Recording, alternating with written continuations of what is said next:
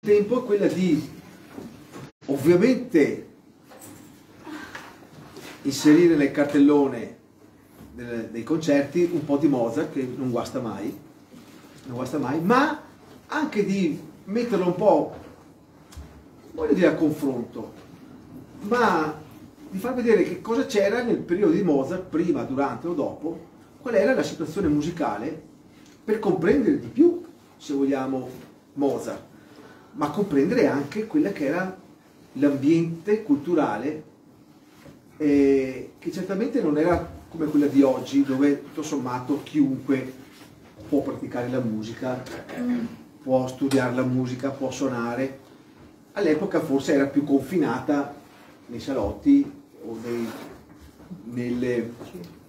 E, e ho trovato interessante questa volta tirar fuori questo, questo personaggio che tutto si potrebbe dire meno che fosse musicista. Sì, sì, però, però lo era e, e, come se lo era, insomma. Beh, allora, intanto buonasera, bentrovati.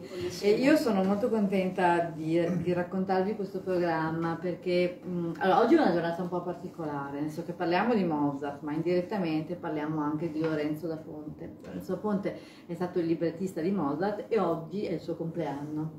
10 marzo 1749. Lorenzo da Ponte è una figura che mi è molto cara, un po' per, per destinazione geografica, nasce a Vittorio Veneto, cioè a Ceneda, l'attuale Vittorio Veneto, quindi in provincia di Treviso, e condivide con Mozart gli anni del grande successo, a Vienna, gli anni delle nozze di Figaro, del Don Giovanni e del Così fan tutte della cosiddetta trilogia italiana.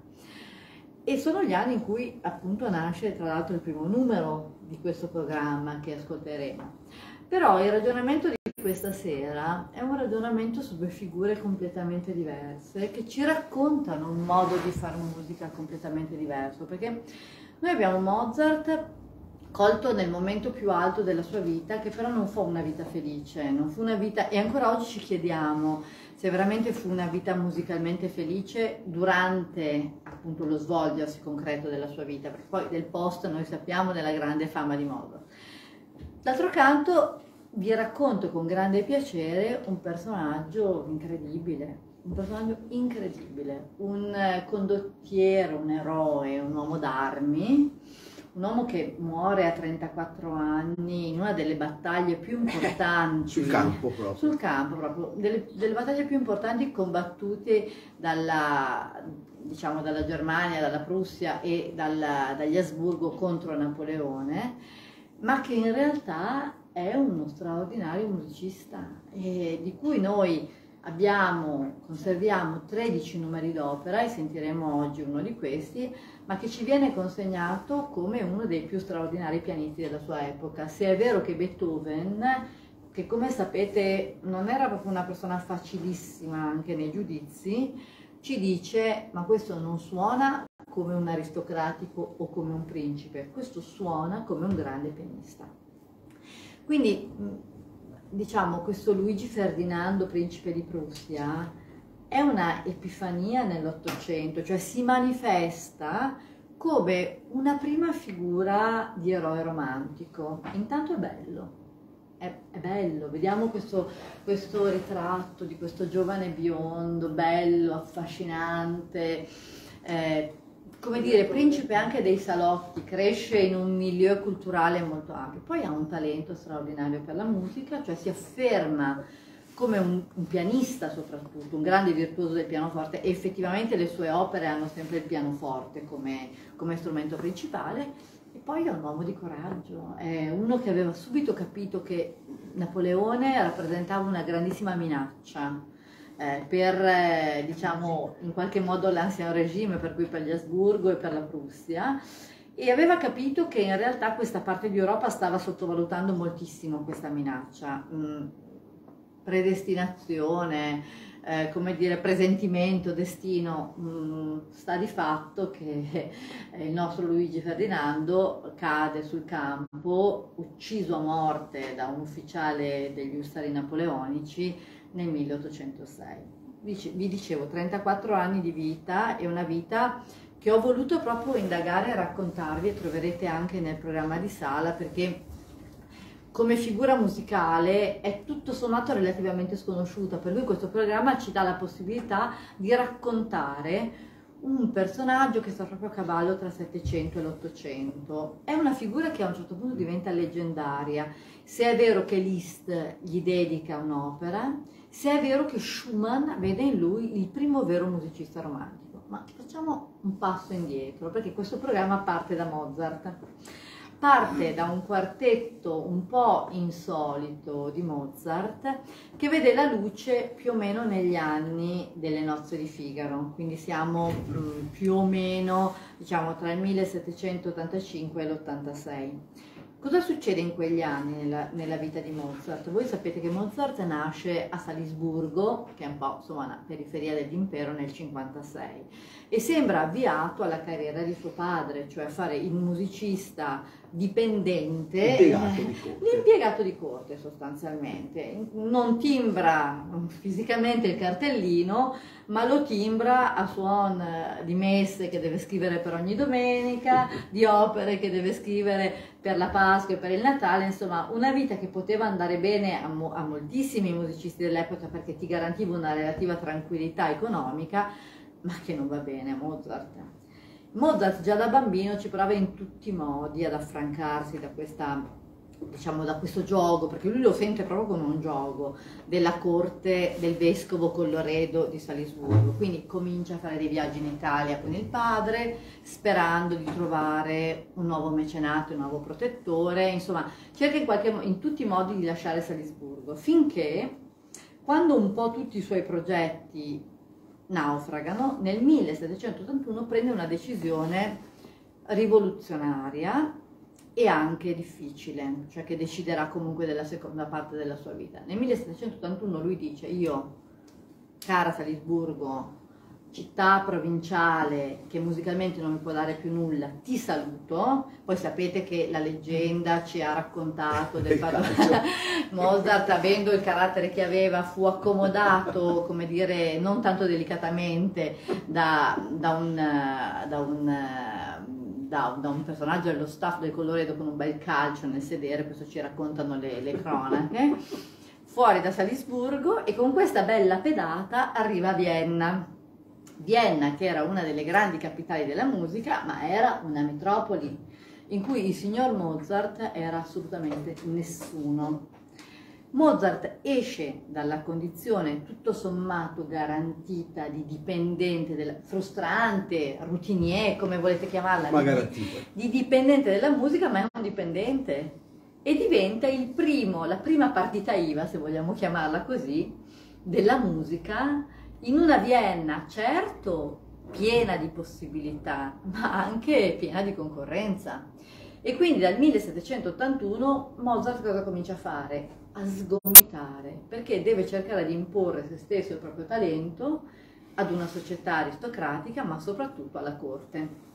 E come si fa? Eh, non è facile perché tu non hai gli agganci giusti, non conosci le, le persone le giuste, mancano, certo. non hai le relazioni giuste, allora si rivolge a una nostra comune conoscenza, un certo signor Salieri, che noi abbiamo avuto modo nella nostra vita di indagare, indagare certo. molto perché il qui presente maestro è stato per lunghi anni direttore artistico del Teatro Legnago di Salieri e abbiamo, il, al Teatro Salieri di Legnago e abbiamo, e abbiamo, e abbiamo avuto modo di indagare questo rapporto. Salieri a, Vienna era il grande sovrintendente della, della, corte, appunto, della corte viennese, quindi era l'uomo introdotto, l'uomo che poteva aiutarlo a trovare un suo ruolo, ma non c'era solo Salieri, perché Mozart aveva bisogno fondamentalmente di vivere e quindi aveva bisogno di crearsi tutta una rete di mecenati privati. Questi mecenati privati erano personaggi delle alte famiglie dell'aristocrazia viennese che potevano sostenerlo come? Sostenendolo concretamente nei suoi concerti, il famoso modus dei concerti per sottoscrizione, cioè io mi fido di te, so che tu sei bravo, nel momento in cui tu organizzi un concerto e prendi in affitto una sala, io ti garantisco un fee, cioè una quota, che ti può aiutare a, pagare, a rientrare delle spese e a pagare la tua performance professionale, quindi i concerti per sottoscrizione, una sorta di abbonamento, diciamo così. Un altro modo era dare lezioni, ma sappiamo che Mozart come insegnante era piuttosto, come possiamo dire, scarso, nel senso che mh, mm, non, non aveva la pazienza. la pazienza e anche se vogliamo dire un po' la vocazione Oppure l'altro modo era quello di accreditarsi a corte e di avere un ruolo, un ruolo eh, diciamo musicale tale per cui potesse diventare a sua volta dipendente della corte, ma a Vienna era molto più difficile che a Salisburgo. Mozart ci proverà in tutti i modi e grazie a Salieri diventerà avrà questo ruolo di musicista di corte. Il musicista di corte di fatto non era il Kappelmeister, cioè il Kappelmeister era il maestro di cappella, il direttore artistico della corte stipendiato. In realtà Mozart che obbligo aveva? Aveva l'obbligo di scrivere alcune opere per la corte. Nello specifico sono gli anni in cui Mozart concepisce i suoi, più, i suoi tre più grandi capolavori e lo fa aiutato da, da, Lorenzo da Ponte, Lorenzo da Ponte che era arrivato a Vienna più o meno negli stessi anni, che aveva sgomitato allo stesso modo di Mozart, ma appunto cercando di accreditarsi come poeta di corte e grazie a cui si creerà questa, diciamo, eh, questo incontro anche un po' se volete magico tra due ingegni simili che porterà alla creazione della trilogia italiana, quindi Nozze di Figaro, Don Giovanni e così fan tutte. Sono dieci anni perché poi Mozart muore, 1791, Salieri viene allontanato dalla corte eh, per una serie di problemi, tra cui questa sua relazione con Adriana Dalbene Ferrarelli che fu appunto la prima Fiordiligi e quindi insomma un mix diciamo di problemi di tipo professionale, politico, relazionale ma poi Lorenzo da Ponte si sposterà a Londra dove diventerà editore musicale e poi sarà il primo diciamo intellettuale europeo a varcare l'Atlantico. Questo è, straordinario. Arriverà a New York, cioè sarà il primo lettore di italiano alla Columbia University. Cioè, Lorenzo Ponte è un personaggio incredibile, è il primo intellettuale moderno, veramente, perché, perché diciamo l'Europa era considerata prodo, ma nello stesso tempo limite. Nel senso che per gli intellettuali del Settecento e dell'inizio dell'Ottocento non c'era niente oltre l'Europa. È incredibile che Lorenzo da Ponte alla fine del Settecento intuisca che oltre l'Atlantico esiste un mondo e non sarà, non sarà soltanto il lettore della Columbia University, lui porterà le opere di certo. Mozart e di Rossini a New York, allestite nei primi teatri rudimentali fatti appunto in legno. Quindi un personaggio Vabbè, ma insomma, ma Lorenzo da Ponte è, è, Lorenzo da Ponte, adesso lo cito perché è il suo compleanno, mi piaceva, poi perché è molto legato a Mozart e è molto legato a Mozart negli anni in cui compone appunto questo quartetto che andremo a sentire. L'altra questione che riguarda Mozart in questo periodo, e qui veniamo all'opera, era come relazionarsi ad un mondo musicale composto non soltanto uh, di fruitori, come potreste essere voi, cioè di un pubblico che viene a concerto, ama la musica e l'apprezza, ma di fruitori musicisti amatori. Perché? Gli aristocratici che notoriamente, avendo diciamo, um, un diritto divino anche sulle faccende economiche, non avevano il bisogno come possiamo dire, dozzinale che abbiamo noi comuni eh mortali di lavorare per vivere e quindi avevano del tempo da impiegare nel famoso ozium. Mm. Quindi c'era chi amava la letteratura, chi amava le arti figurative e chi amava la musica. Per cui c'era un gran numero nella capitale di dilettanti della musica, di buoni dilettanti della musica. E quindi i musicisti professionisti potevano avere un'aggiunta, diciamo, un'entrata aggiuntiva scrivendo musica proprio da destinare a questi salotti e a questi dilettanti di livello, possiamo dire, medio-alto. Mozart compone questo lavoro, che è il secondo di una serie che avrebbe dovuto vedere tre lavori, proprio per questo pubblico, per questi destinatari, cioè per i nobili che erano sufficientemente bravi da poter gestire la pratica quartettistica divertendosi, ma non così bravi dall'essere dei professionisti a cui potevano venire facilmente anche i passi più arditi.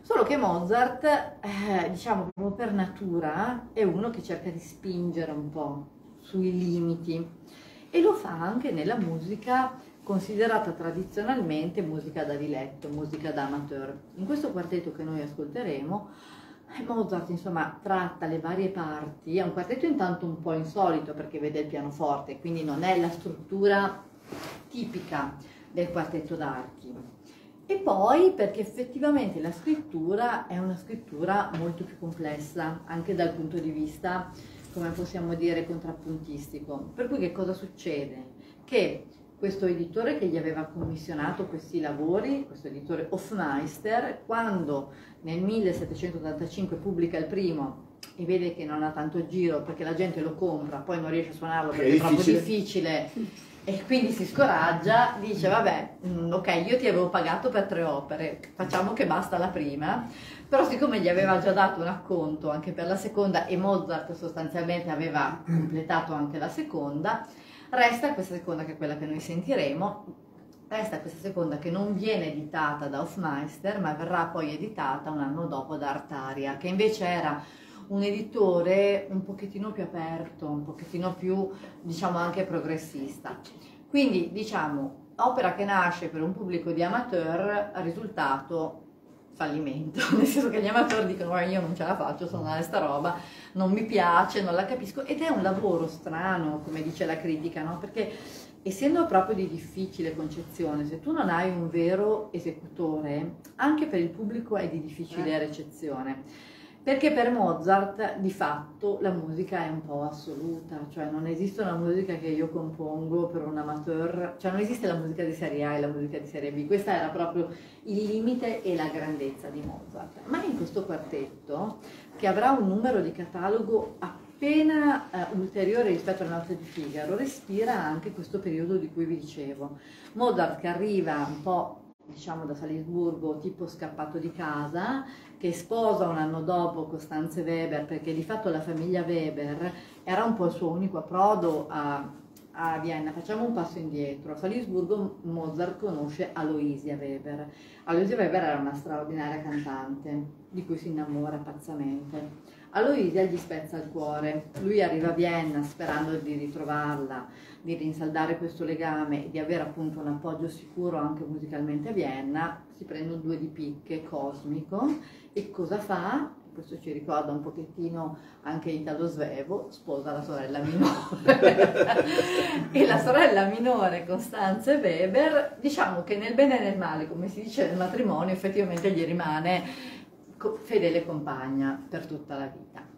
Quindi, diciamo, negli anni successivi, tramite Salieri, tramite un po' i Weber, riesce in qualche modo ad acclimatarsi e nonostante questo quartetto non sia esattamente un trionfo, testimonia un'epoca felice della sua vita, perché finalmente Mozart è riuscito a fare quello che voleva, accreditarsi a corte e cominciare a scrivere una grande opera per la corte. Il soggetto che sceglie, come sappiamo, è un soggetto assolutamente controverso perché poteva mettere gli occhi su tutte le storie del mondo, sceglie Figaro, cioè sceglie eh, l'opera di Beaumarchais che ci parla di un barbiere che sostanzialmente si oppone al suo padrone. Insomma, la trilogia di Figaro in Francia aveva in qualche modo già mh, fatto scattare un po' l'aria elettrica della rivoluzione, era stata ovviamente bandita dalle scene francesi, era stata bandita dalle scene viennesi, ma poi Mozart riesce a, a, a recuperarla grazie a Emanuel Schikaneder, che sarà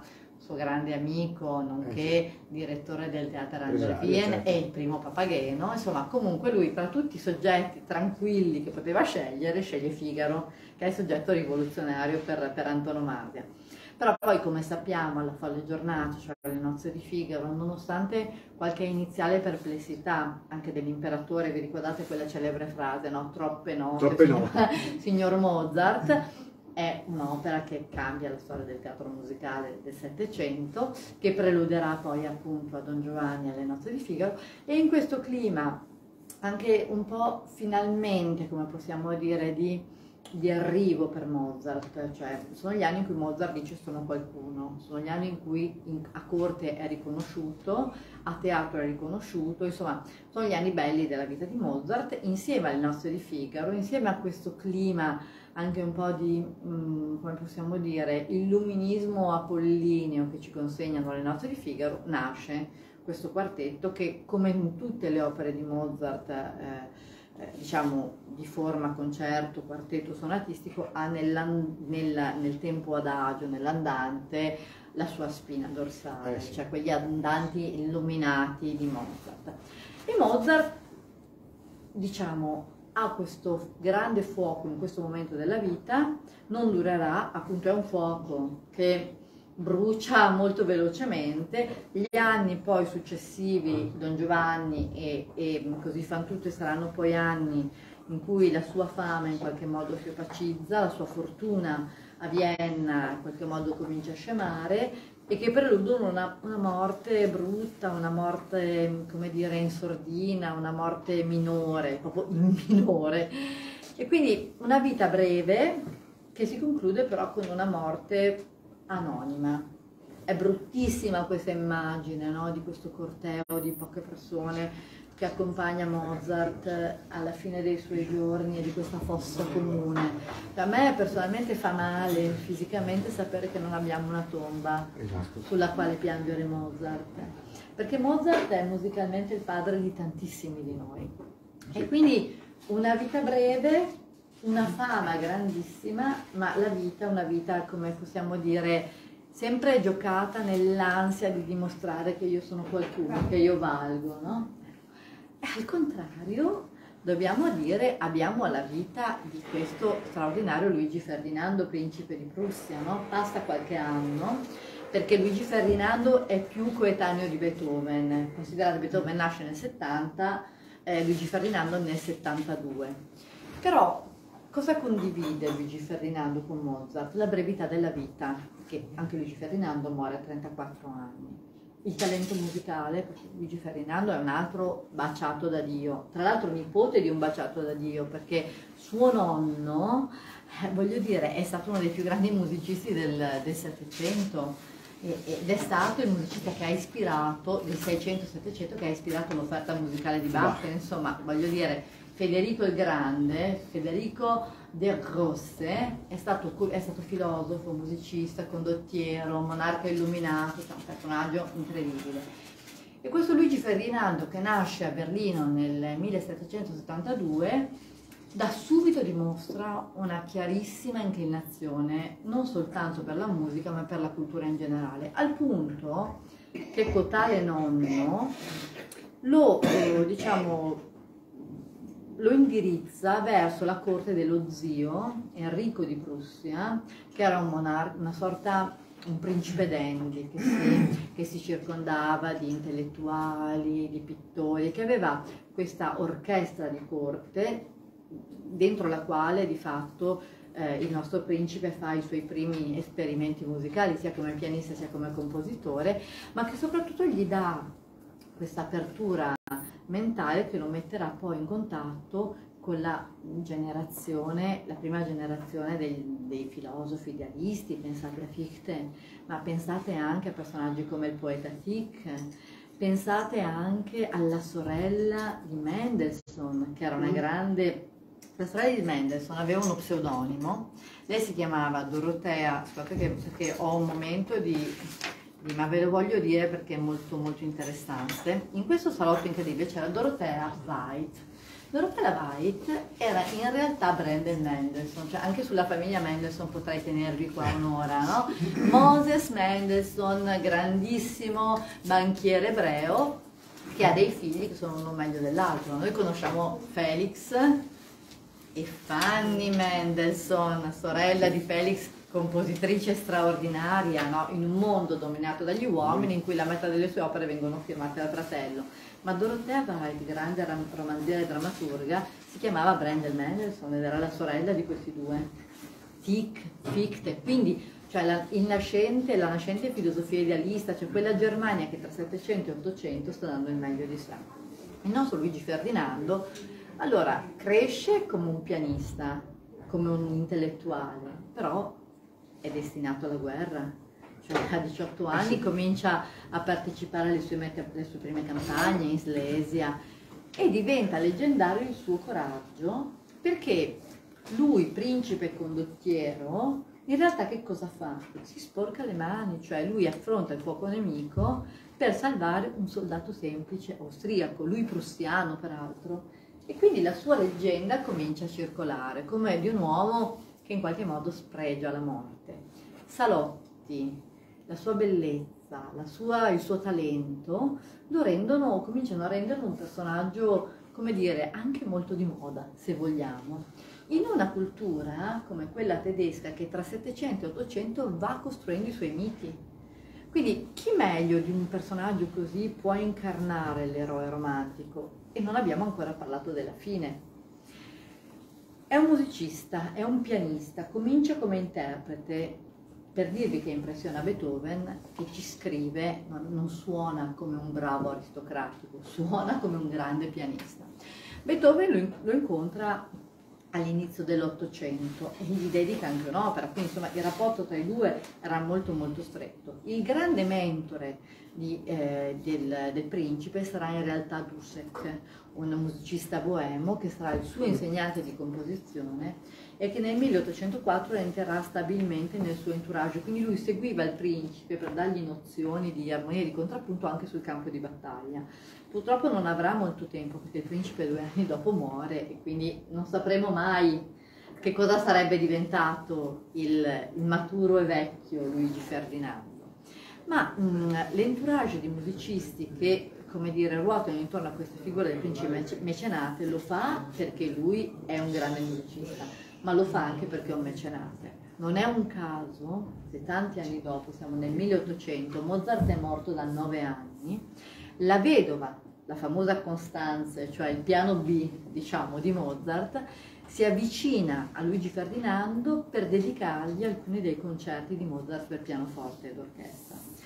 Perché è sempre questo, cioè il, il, il ricco aristocratico fa il compositore prediletto, però l'osmosi positiva è che può essere anche mecenate di compositori di talento che però per censo non hanno quella capacità economica che appunto è richiesta per fare della musica proprio mestiere ed è il motivo per cui Luigi Ferdinando è molto in contatto con Beethoven.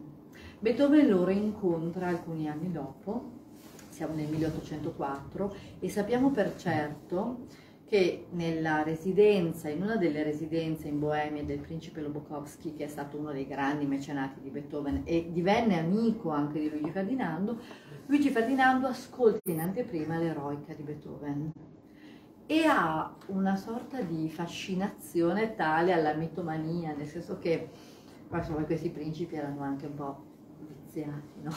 quindi chiede che gli venga ripetuta due volte l'eroica. Tanto è vero che questa questa adesione, questo amore così folle nei confronti di questa sinfonia ha fatto addirittura venire il dubbio che quando Beethoven dedica l'eroica ad un grande spirito caduto in battaglia, in realtà non fosse Napoleone questo personaggio, ma fosse Luigi Ferdinando. Perché? Perché proprio due anni dopo, sul campo di battaglia, e qui abbiamo, se volete, la chiusura no, della costruzione del mito dell'eroe, muore a 34 anni in un atto estremo di coraggio in battaglia. Muore lasciandoci 13 numeri d'opera, lasciando una, diciamo, l'eco della sua figura, se è vero che ci sono ancora oggi dei romanzi popolari nell'Alta Slesia, nella Prussia, che ci raccontano le gesta di Luigi Ferdinando e se è vero che tutti i musicisti con cui lui venne in contatto, da Duschek che fu appunto suo maestro di sì. musica, a Beethoven, a Liszt, quindi parliamo di tanti anni dopo perché le opere di Liszt insomma, sono del 1842, poi riviste nel 1953, gli dedicano delle opere. Quindi una figura che influenza in maniera fortissima la nascente cultura romantica. Robert Schumann, che conoscete naturalmente come compositore, ma di cui è, è giusto e opportuno sapere che fu il primo vero critico musicale della storia e che fu colui che scoprì il talento di Chopin, di Berlioz, Robert Schumann di Luigi Ferdinando dice il principe fu il primo autentico musicista romantico, proprio perché nella sua vita e nella sua opera seppe tradurre quei valori che erano considerati fondanti dal pensiero romantico, quindi la bella morte, il grande talento, il progressismo, perché appunto lui aveva intuito che Napoleone sarebbe stato un grande pericolo e anzi viveva, questo si legge nelle sue lettere, viveva con profonda frustrazione l'attendismo politico che era stato messo in atto, cioè Napoleone andava affrontato. E quindi Robert Schumann in lui vede la sintesi delle, dei cardini del pensiero romantico. Nel concerto che sentiremo, nel, scusatemi, nel quartetto che sentiremo questa sera per pianoforte e, e archi in Do minore, e che è un lavoro, come dire, mh, piuttosto complesso, voi capirete che questo Luigi Ferdinando era un pianista di livello superiore, perché al pianoforte è richiesta comunque una capacità tecnica di un certo tipo. Anche la tonalità che ci viene consegnata il Do minore, se volete, è una tonalità e anche la modalità con cui lo, lo ascolterete questo, questo lavoro, è una modalità che se non vogliamo definire romantica possiamo assolutamente definire sturmish, cioè lo Sturm und Drang è quella mm, mm, diciamo momento di rottura barra congiunzione tra questo ideale luminoso, apollineo dato dal Settecento e questo tormento, questo rigurgito, se volete, no? Della, dell'inconscio, dell'individualità, del sentimento che è proprio della stagione ottocentesca. È un momento di, di, trapasso ed è un trapasso che già noi respiriamo in Beethoven e in qualche modo, se volete, anche in Mozart. Per quello certo. che Mozart e Luigi Ferdinando sono abbastanza vicine. Mozart ha una morte che non è una morte, se volete, illuminista, è una morte già romantica, una vita già romantica, se pensate anche a tutte le leggende che lo circondano, se pensate ad alcune delle sue opere, se pensate un po' anche a Don Giovanni. Luigi Ferdinando continua e approfondisce questa linea, però porta in, in luce un, un altro aspetto che mancava a Mozart, l'eroe. Mozart nella vita di fatto è un antieroe, è un campione musicale ma è un antieroe. Luigi Ferdinando è un eroe, e il pensiero romantico ha bisogno di eroi. E quindi è la vita e la morte di Luigi Ferdinando che ci consegnano in mano una stagione nuova, un respiro completamente nuovo. E quindi la bellezza di questo concerto e di questa serata è di farci conoscere questa figura, apprezzare questa figura nel suo brevissimo passaggio in terra che però ci ha lasciato 13 opere musicali che sono sempre state amate, perché eh, le sue opere non hanno effettivamente conosciuto tramonto, mentre la musica di Mozart è una musica che è stata a lungo controversa, quella di Luigi Ferdinando no, è sempre stata amata e apprezzata e probabilmente anche capita. Se poi è uscito un po' dal radar della storia della mm. musica è perché l'Ottocento e il Settecento sono state due stagioni così piene eh di individualità che insomma cioè non c'era proprio spazio per tutti, ma noi ringraziamo i concerti di Monfalcone perché ci hanno fatto fermare su questa persona, su questa figura e ci lasciano dentro, come dire, anche un po' rimpianto di sapere che cosa sarebbe stato il cinquantenne Luigi Ferdinando. Non so, intanto ci godiamo certo. i suoi 30 anni e le sue opere. No? E noi ringraziamo Elena Feglini di questo racconto che ci ha dato così questa chiave di lettura, questo, ci ha fatto incontrare questo eroe, musicista, dilettante perché suonava per diletto, ma non allo sbaraglio, assolutamente. Dilettante perché suonava per diletto, cioè non suonava per vivere, questa è la sì, differenza. Però se noi pensiamo che cosa significhi essere dilettante, cioè pensiamo, io vi dico una figura per tutti, Benedetto Marcello. Benedetto Marcello, magistrato certo. alle acque della Repubblica Serenissima, dilettante di musica, perché diciamo che le sue entrate non erano garantite dai concerti che suonava, però noi quando pensiamo al dilettante di oggi pensiamo a chi si cimenta al karaoke o va a fare i talent, sapete certo. le storie tri- tristi, no? Avrei sempre voluto cantare, poi ho fatto l'impiegato alle porte, non so. Ma ecco, ma i dilettanti del Settecento erano invece erano grandi musicisti che però per censo, per nascita, quasi tutti aristocratici, nella vita facevano altro. L'amateur, se volete, è il modo migliore di fare la musica, perché non hai, come dire, il logorio della routine. Potessimo noi, vero, essere solo amateur, ma questo è per ricollocare la figura del dilettante al suo vero ruolo, soprattutto nella cultura settecentesca ottocentesca. Insomma, adesso noi ci consegniamo questo concerto anche con grande curiosità, perché appunto la musica di Luigi Ferdinando non è di così consueta esecuzione e quindi veramente grazie alla stagione che ce lo fa riscoprire. Grazie Elena Filini. perché che non è l'eroe, in realtà però cioè, molti artisti successivamente soprattutto, non prima, erano artisti poveri, un sacco di... di, di, di e quindi non, non, mi pare, la sua ericità è un'ericità, cioè, come dire, non, non eh, visibile, non, eh, non, si mette in mostra, ecco, però la sua è una vita eroica. L'eroismo di guardi, io sono una mozartiana proprio, cioè per me Mozart c'è, cioè, forse c'è Mozart e poi c'è Dio, non so come dirle. Forse eh, se posso tradurre quello che lei ha detto e che io di cui sono assolutamente concorde è che è l'eroismo della coerenza, nel senso che Mozart ha sempre messo la sua musica davanti a tutto il resto e quindi non è mai stato succube delle mode, non è mai stato succube delle convenzioni.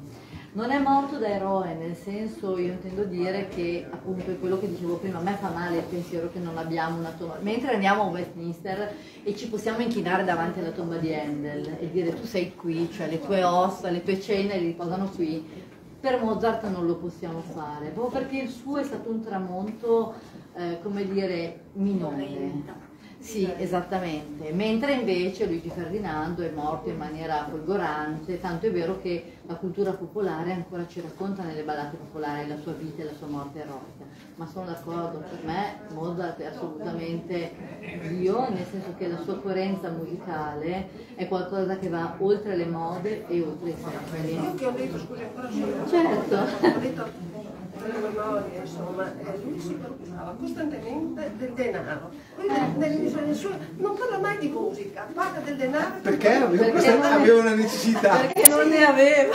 Doveva pagare l'affitto lui. Pur essendo un musicista, non eh. so, forse non se ne deve neanche conto lui di quanto era grande, non lo so. Ah, no. Sono eh. soldi, no, penso di no, che, che lo sapesse, però la sua preoccupazione non mi sa. Eh beh, guardi, è stato a corto di soldi per tutta la vita, poverino, è stata anche la sua grande tragedia, devo dire. Esatto, sì.